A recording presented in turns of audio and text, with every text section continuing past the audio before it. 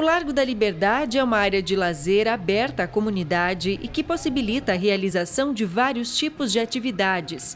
Muitas famílias aproveitam o espaço até para fazer piquenique.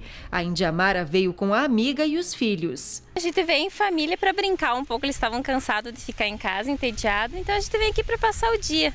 E é gostoso esse espaço aqui em Pato Branco? Isso, é maravilhoso, muito bom. A gente vem sempre aqui no Largo, traz as crianças, andam de bicicleta, de patins, fizemos piquenique, comemos, é uma diversão para eles. Desde o dia 26 de dezembro, o Largo recebeu ainda mais opções de atividades.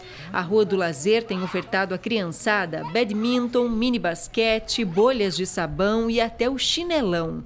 Diversão garantida para quem vem passar as tardes de férias por aqui. E durante esses dias de Rua de Lazer de férias, além das atividades no Largo da Liberdade, na parte de fora, aqui do lado de dentro, muitos jogos de tabuleiro que também divertem a criançada.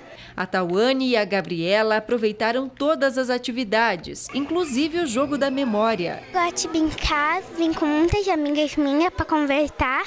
Eu também venho com as minhas primas. Eu faço um monte de coisa aqui. Eu também faço piquenique. É muito legal. A gente me diverte muito. Eu gosto das atividades daqui. Se diverte bastante? Sim. O que, que você mais gostou hoje? Eu mais gostei de andar naquele chinelão. Se divertiu? Sim. As atividades da Rua do Lazer estarão disponíveis no Largo da Liberdade até o finalzinho deste mês. Segunda a sexta-feira, das 3 horas até as 9 horas da noite. E aos sábados, nós estamos com o horário das 2 horas da tarde até as 7 horas da noite. Lembrando que tudo que é ofertado aqui é de graça. Totalmente gratuito, não paga nada, só vir se divertir, só gasta calorias.